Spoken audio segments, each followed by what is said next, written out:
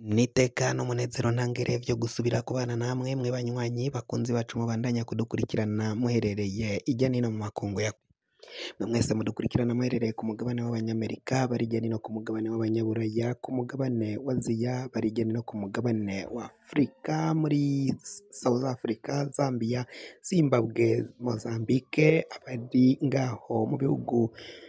uganda na kenya mwese mwese muri mu bihugu by'ibibanyi mu buraruko mu rwanda mu burengero muri congo mu buseruko muri tanzania abari ngaha mu gihugu cacu c'uburundi intara amakomine imitumba ubucimbira imisozi bigiye bitandukanye. Bivanye n'aho buri umwe wese adukurikirana aherereye mwese mwese ndabahaye kaze fyonda subscribe niba ukoresha ururimi rw'icongereza canke niba ukoresha ururimi rw'igifaransa fyonda sabone. Hama uraca ujya ngaha iburyo urafyonda no kwa kantu kameze nk'agakengeri. Amakuru ibiganiro dutohoza umwanya ku mwanya bizoja bigushikira aho uzoba uherereye hose ku isi. Amakuru agezwe kari karavugwa ngaha mu gihugu cacu c'uburundi. Reka tuyatangurire ku ndyane ziri kuvugwa hagati y'umukuru w'igihugu varisito ndayishimiye batazira neva ku izina ry'ubuhizi. Akaba rero afitanye indyane zikomakomeye cane n'umushikiranganji wa mbere general de polisi gervasi ndirakobuca batazira ndakugarika. Ndakugarika afitanye indyane zikomeye cyane hamwe n'umukuru w'igihugu. Izo njyane ngo zoba zifatiye ku idosiyo ya bunyoni na purime niyo ngabo ngo purime niyo ngabo na bunyoni ni abantu bashuti cyane abantu bavuga kumwe abantu buzura cyane umwuzuro wa Prime Niyongabo na Generale Arengiyome Bunyoni ngo woba ari wo winyegeje inyuma y'ibiriko birabera ngaha mu gihugu c'u Burundi hamwe na na Ndayishimiye umushikiranganji wa mbere aramutswa igihugu c'u Burundi inyuma y'umukuru w'igihugu Varisito Ndayishimiye. Ngo uyu Gervasi Ndirakobuca yari yasigiwe idosiye yo guterako umukono. Yari yabwiwe ko Prime Niyongabo General Prime Niyongabo agomba gukurwa mu mabanga agasubirirwa na ndiho ku bwayo Jire General Jire ndiho ku bwayo ni we yagomba gusubirira Prime Niyongabo mu gisirikare ariko ngo ndakugarika yararavye iyo dosiye akora ko arababwa yakoze ko arasha. Mu gusha yaciye asubira guhamagara umukuru w'igihugu Varisito Ndayishimiye aho yari yafashe urugendo aja mu bihugu vya Amerika na Cuba.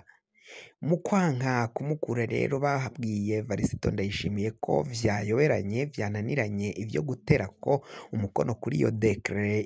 ibogoza General Prime Niyongabo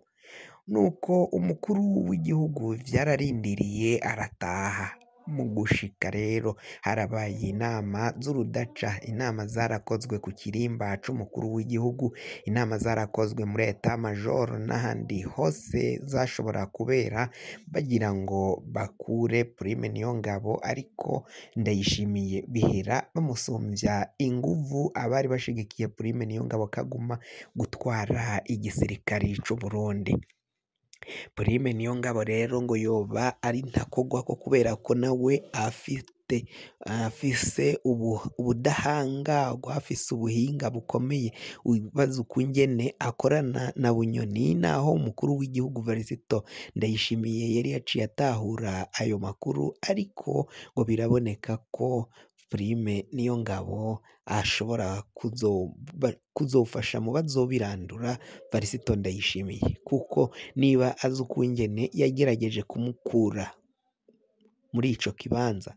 ariko bigahera binaniranye. Abashigikiye Prime Niyongabo babaye benshi.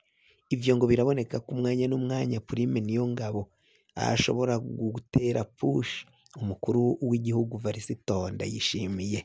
umwanya n'umwanya ivyo rero ngo nta yindi mvo. Nuko Varisito neva yari yaciye atahura ko Prime Niyongabo yoba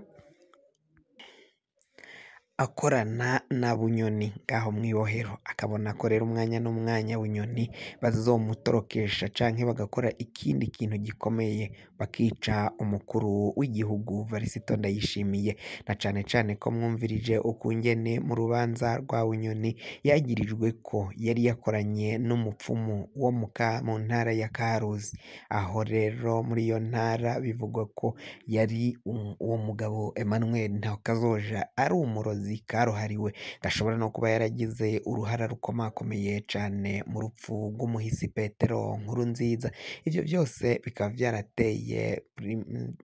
vyarateye Ndayishimiye kugira amakenga akomakomeye cane, ivyo ni ibiriko biragenda bitangazwa, ivyo vyose bikaba ari ivyabereye ngaho mu butegetsi bwa CNDD FDD n'ababufasha ngaho muri ntare rushatsi no mu Kigobe, mu bashingamateka, mu bashikiranganji, hafi ya bose bari inyuma y'umukuru w'igihugu Varisito Ndayishimiye, abo ngabo bose rero ngo bakaba ari bo bagenda bashigikira amabi abo bategetsi bagenda bakora, ubwo bwicanyi bwose bica abanyagihugu bahohotera n'abandi. Tuvuye kuri iyi nkuru reka tuje ku nkuru ivugwa mu nama nshingamateka, abashingamateka baraye bambuwe ijambo, baraye batswe ijambo bivanye n'uko bari bariko barabaza ukungene amafaranga agomba gutunga umuryango w'umukuru w'igihugu atera yiyongerekanya hafi gukuba kabiri, bayakuvye kabiri nyene ugereranije n'ayariho uyu mwaka uheze, ivyo vyose bariko rero bakibaza ni gute umukuru w'igihugu ahabwa amafaranga angana uko kose, ngo bwashize mu mwaka w'ibihumbi mirongo ibiri na kabiri, umukuru w'igihugu yari agenewe ibihumbi amajana atatu ku mwaka, ariko amakuru twamenye neza ngo nuko yakoresheje amafaranga agera ashika kuri miliyari y'amafaranga y'amarundi, ivyo vyose rero ngo bikaba biboneka ko harimwo ibinyegezwa vyinshi, ubwo bari bariko barabivuga ko abashingamateka baratswe ijambo, urimwo watswe ijambo kuri ubu ngubu ni Pasikari Gikeke, aho yaciye abaza imvo ayo mafaranga atera yiyongerekana, umushikiranganji w'ikigega ca leta we yaciye yishura ko ngo nk'umwaka ushize ngo haje abashitsi benshi, abo bashitsi ngo bagombaga kubakira kuko ntibagomba kubareka batahiraho, abandi bati Ntakarutimana Sabine yari icegera c'umukuru w'inama nshingamateka ngo yaciye abwira Pasikari ko amwambuye ijambo, kandi anababwira ko uwundi mushingamateka nawe yoba afise afise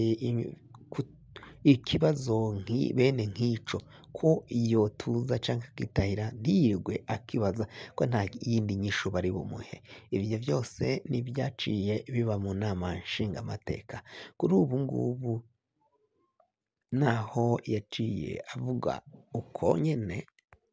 yanongeyeho ko urugo ari urugendwa, ngo bagize abashitsi benshi, yaravuze ko rero nta wundi muntu wongera kukibazako ngo kuko ivyo umushikiranganji w'ikigega ca leta yari ahejeje kwishura ngo vyari bisiguritse, ata zindi nyishu bari bakeneye, ivyo ni ibiriko biravugwa. Ngaha rero mu gihugu cacu c'Uburundi, kuri ubu ngubu amafaranga agomba gutunga umukuru w'igihugu yateye yikuba arenga kabiri, yabaye miliyoni amajana indwi, miliyoni amajana indwi na mirongo itanu, nizo umukuru w'igihugu azakoresha uyu mwaka mu bikorwa vye vyose vya misi yose, benshi bakaba batanguye kuvuga ko ivyo Varisito Ndayishimiye yaciye akora ko atari vyo, kuko iyo mipangu n'ivyo bagiye bashirako ngo biraboneka ko ata nyungu n'imwe bizogirira igihugu c'Uburundi. Kugira ngo amakuru mwene nk'aya aza gushikira fyonda subscribe niba ukoresha ururimi rw'icongereza. Canke niba ukoresha ururimi rw'igifaransa fyonda sabone hama uraca ngaha iburyo urafyonda no kwako kantu kameze k'agakengeri. Amakuru yawe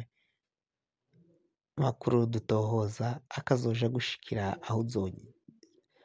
uherereye hose ku isi. Mwe mwahejeje gufyonda subscribe kandi tukaba tubakengurukira cane. Muri abo kubahwa n'agahwane.